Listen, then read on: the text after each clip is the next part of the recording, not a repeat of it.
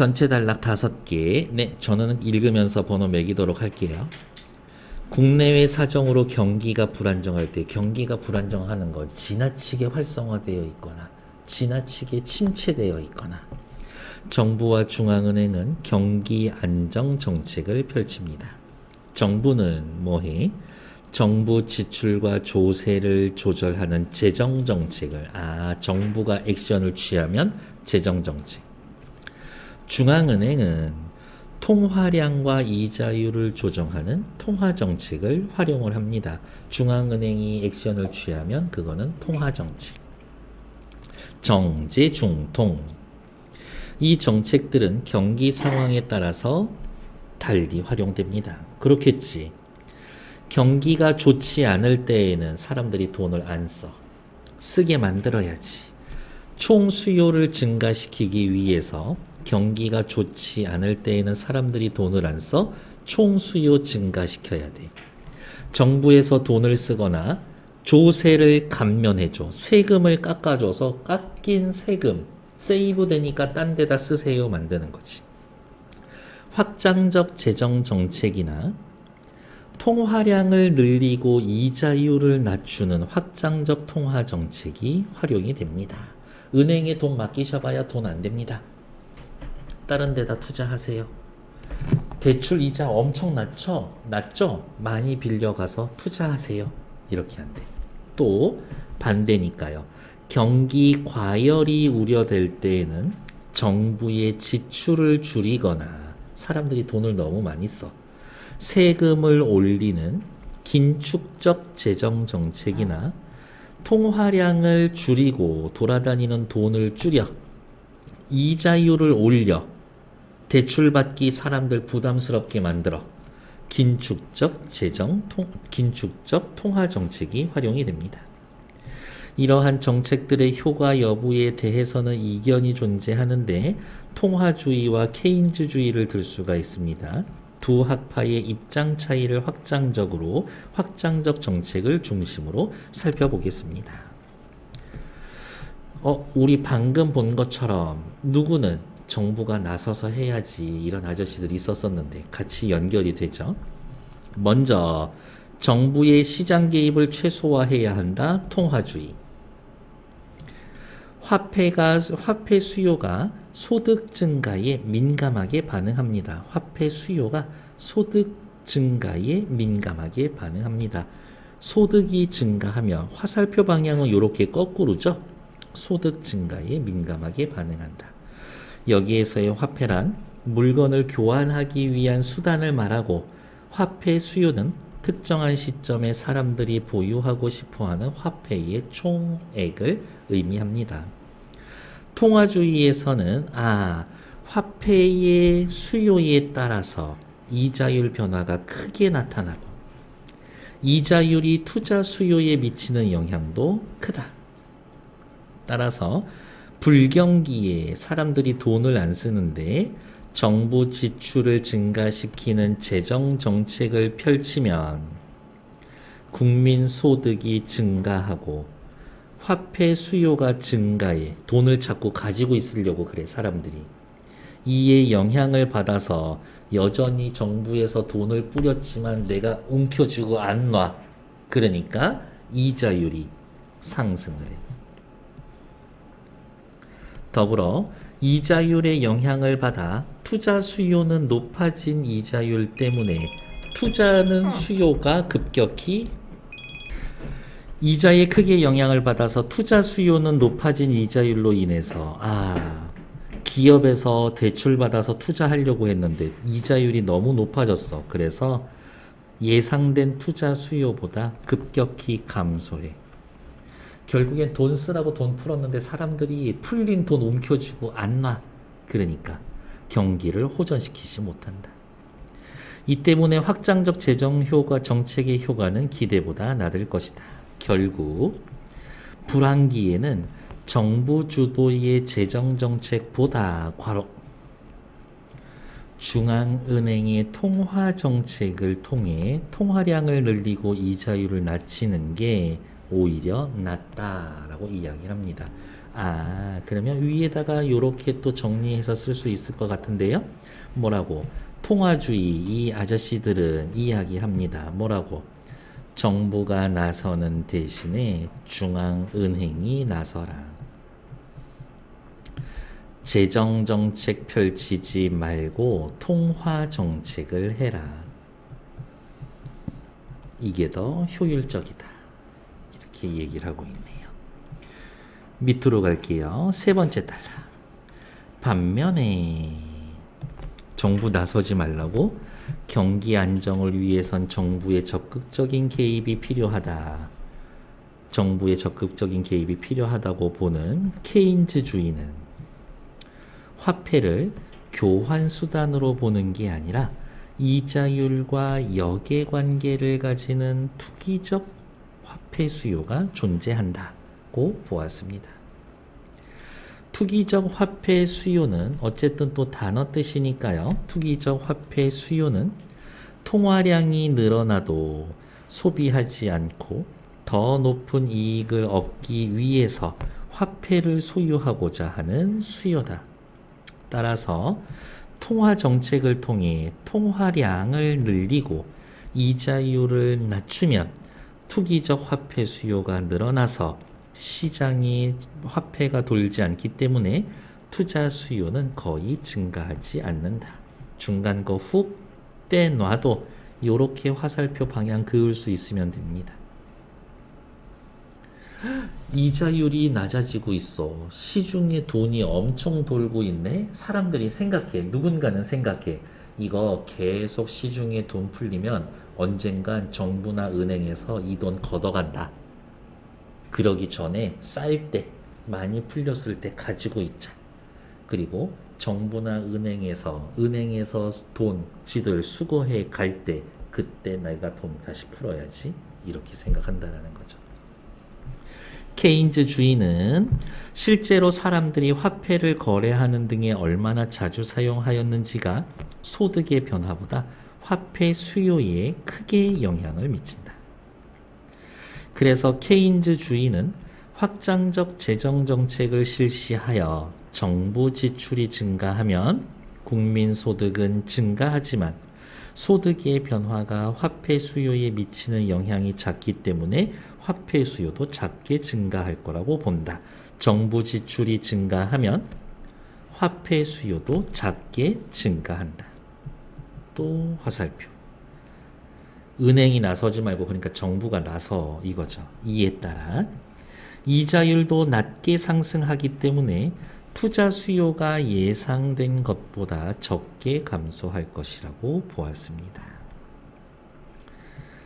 또한 확장적 재정 정책의 효과는 승수 효과와 구축 효과가 나타나는 정도에 따라 달라볼 수가 있습니다.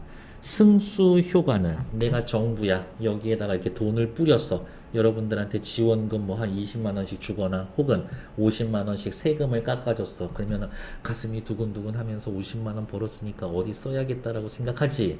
지금 나는 돈 얼마 썼어? 200만 원 썼어? 근데 50만 원 쓸 거야. 250만 원 썼지. 50만 원 쓸 거야. 300만 원 돌아가지 내가 뿌린 건 200만 원인데 돈이 돌고 돌고 돌아서 400만 원, 800만 원, 1200만 원 이렇게 돌고 돌게 된다고. 그게 승수 효과. 정부의 재정 지출이 그것의 몇 배나 되는 국민 소득의 증가로 이어지면서 소비와 투자가 촉진되는 겁니다. 케인즈주의는 이러한 승수 효과를 통해서 아, 경기 부양이 가능하다. 사람들이 돈이 자꾸 돌고 돌고 도니까.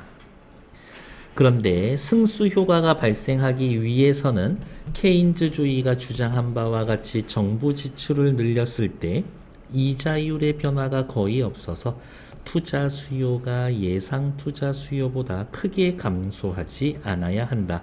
예상보다 실제 투자가 조금만 감소해야 합니다. 그런데 정부가 재정 정책을 펼치기 위해 재정 적자를 감수하고 국가가 일종의 차용 증서인 국채를 발행해서 시중에 돈을 빌리는 경우가 많습니다. 국채를 발행해서 시중에 돈을 빌리는 경우가 있습니다. 국채 발행으로 시중의 돈이 정부로 흘러가면 시장의 돈이 줄어들지. 돈이 줄어드니까 이자율이 오르고 이자율이 오르면 소비나 투자 수요가 감소되는 상황이 발생하게 됩니다. 결국 세금으로 충당하기 어려운 재정 정책을 펼치기 위해 국채를 활용하면 이자율이 오르고 소비나 투자가 줄어드는 것 그런 것을 무슨 효과? 구축 효과라고 이야기를 합니다. 통화주의에서는 구축 효과에 의해 승수 효과가 감쇄되어서 확장적 재정 정책의 효과가 기대보다 줄어들 거라고 통화주의자들은 이야기를 합니다. 음, 재정 정책 기대가 줄어들 것이다. 진짜 일관성 있죠. 정부 나서지 말란 얘긴 거잖아. 재정 정책 하지 말고. 마지막 다섯 번째 달라. 이처럼 경기를 안정화시키기 위해 특정한 정책의 긍정적 효과만 고려해서 정책을 실시하면 예상치 못한 문제들이 발생합니다. 쓰라고 돈 뿌렸더니 사람들이 오히려 더 안 써. 경제학자들은 재정정책과 통화정책의 의의를 인정하면서 그래 너네 기능은 하지. 이 정책을 적절히 활용해서 경기 안정이라는 목적을 달성하는 데 중요한 열쇠가 있다고 보았습니다. 밑으로 내려가죠. 얘네도 이제 같이 볼 거예요. 윗글을 통해 해결할 수 있는 질문으로 적절하지 않는 것은 이거는 뭐예요? 문제가 있냐 없냐 문제지. 1번 정부의 재정 적자를 해소하는 방법은 무엇인가? 이 얘기가 없죠. 끝. 확장적 정책과 긴축적 정책의 시행 시기는 언제입니까? 언제 확장적 정책, 언제 사람들이 돈을 풀어요? 불경기일 때, 경기가 침체되어 있을 때. 언제 긴축적 정책을, 정책을 합니까? 지나치게 과열되어 있을 때, 돈 너무 많이 쓸 때, 이거죠. 투기적 화폐 수요가 투자 수요에 미치는 영향은 경기를 거의 증가시키지 않습니다. 별 효과가 없습니다. 그렇게 얘기했죠? 화폐 수요가 늘어나면 투자 수요는 거의 증가되지 않습니다. 정부의 지출 증가, 정부에서 돈을 풀면 국민 소득은 증가하겠지. 정부와 중앙은행이 각각 활용하는 경기 안정 정책은 뭐가 있습니까? 확장적 재정 정책, 확장적 통화 정책, 긴축적 재정 정책, 긴축적 통화 정책 이렇게 두 가지로 나눌 수가 있지. 됐을까요? 그래서 있냐 없냐 문제니까 요 정도는 맞춰주세요 이거지. 다음 옆으로 올라갈게요.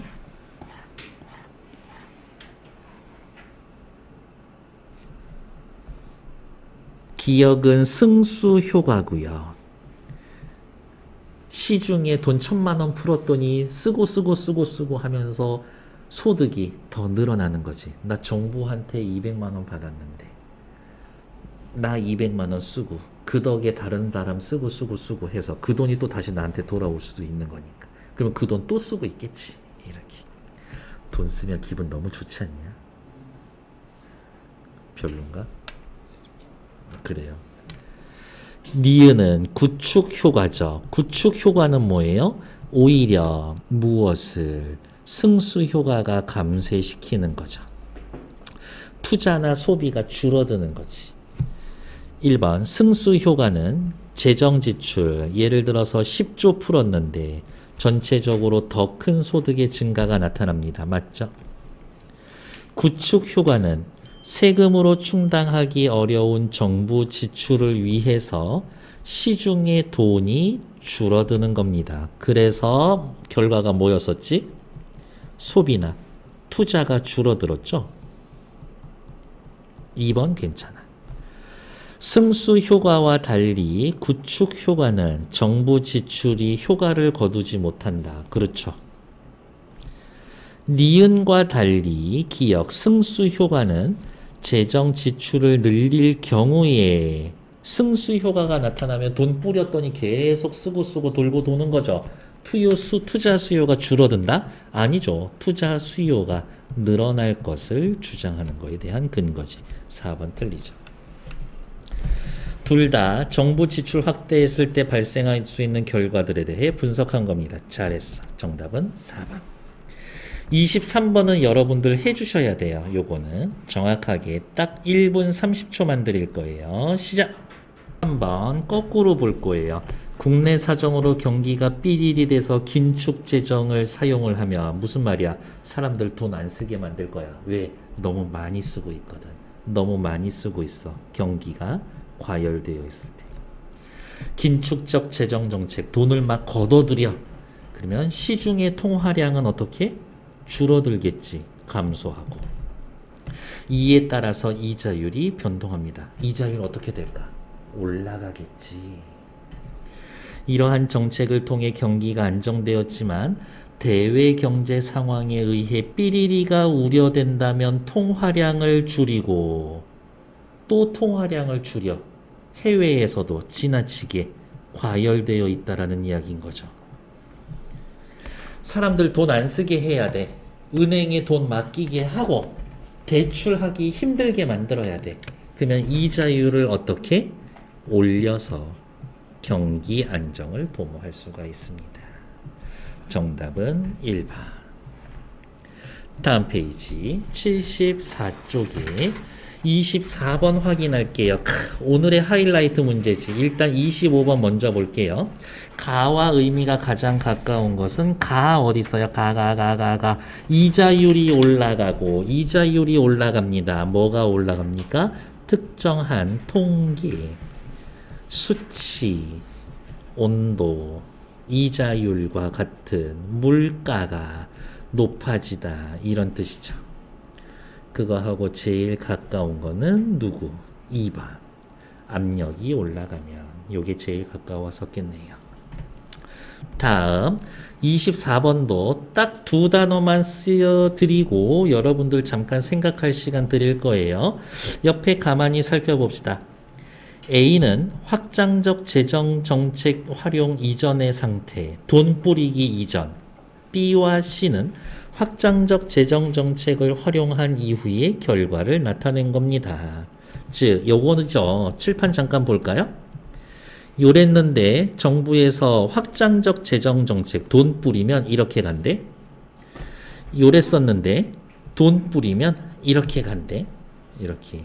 일단은 뭐가 차이가 있어요? 기울기 차이가 있고 그 다음에 A 때의 이자율 요만큼이었는데 정부에서 돈 뿌리니까 이자율이 이만큼 증가했죠? 나에서는요 어떤데요? A에서 C로 이자율 조금 올라갔지. 이게 분석하는 포인트인 거죠. 정부에서 돈을 뿌렸더니 오 효과가 있었어. 이자율 엄청 올라가네 라고 이야기한 가는 통화주의고요. 가는 통화주의고. 그러면 나는 나머지 하나 케인주주의겠지. 그렇죠. G는 이자율의 변화를 고려하지 않고 정부 지출을 통해 총 생산이 증가될 것으로 예상된 시점을 가능한 겁니다. A에서 G로 요만큼 뭐가 총 생산이 증가될 거라고 보고 다음 여기에서는 이만큼 통화량이 증가할 거라고 총생산이 증가할 거라고 총생산이 증가하는 건 무슨 말입니까? 소득이 증가한 겁니다. 이런 이야기겠네요. 네, 그냥 제가 바로 가도록 할게요. 정신이 흐릿흐릿해질 거예요. 이렇게. 자, 살펴봅시다. 가는 나에 비해 정부 지출에 따른 화폐 수요의 변화가 투자 수요에 미치는 영향이 더 큽니다. 케인즈주의입니다. 아니요. 케인즈주의 아니에요. 통화주의예요. 어서 오십시오. 이 자리에 앉고 74페이지. 1번 틀렸죠? 가는 나이에 비해서 화폐 수요의 변화에 따른 이자율 변화가 작다. 좋아. 가는 통화주의의 그래프다. 자, 살펴볼까요? 누가 더 커? 가의 이자율 변화가 가의 이자율 변화가 더 크지. 그러니까 이자율 변화가 작은 게 아니라 큰 것으로 보아서 2번 탈락. 통화주의는 괜찮은데 1분만 참으면 돼. 다음 나는 가에 비해 이자율에 따른 투자 수요 곡선의 기울기가 완만한 것으로 보아 오케이 통화주의가 아니라 케인즈주의라고 얘기했죠? 세상에. 통화주의인지 케인즈주의인지만 써놨더니 1, 3번 날릴 수 있었지. 다음 4번. 나는 가에 비해서 국민소득에 대한 화폐 수요의 변화가 작은 것으로 보아. 그렇죠. 나쁘지 않아. 나는 케인즈주의의 그래프입니다. 그렇지. 케인즈주의는 뭐라고요? 투기적인 화폐 수요가 없을 거다라고 이야기를 했으니까 화폐 수요 변화가 작다. 케인즈주의다. 맞는 얘기지. 그래서 정답은 4번. 5번. 정책 활용 결과에서의 도출된 총 생산 값이 예상된 총 생산보다 많이 감소한 것으로 보아서 G가 예상이죠. G가 예 G가 예상이지. 요만큼. 근데 실제로는 어디? 이만큼이죠. 요렇게 감소한 거겠네? 옆에서는 G가 요만큼 예상했지. 근데 실제로는 이만큼 에게 조금만 감소했지. A, 가가 훨씬 더 많이 감소하고 나가 조금 감소하죠. 나는 케인스주의다. 케인스주의 맞기는 하지. 근데 얘네 둘이 바꿔야 되겠네요. 총 생산값이 변환된 거. 누가 더 많이 감소했는지 라고 확인하니까. 그래서 틀린 얘기. 정답은 4번. 요 정도로 확인하시면 되겠네. 잠시만요.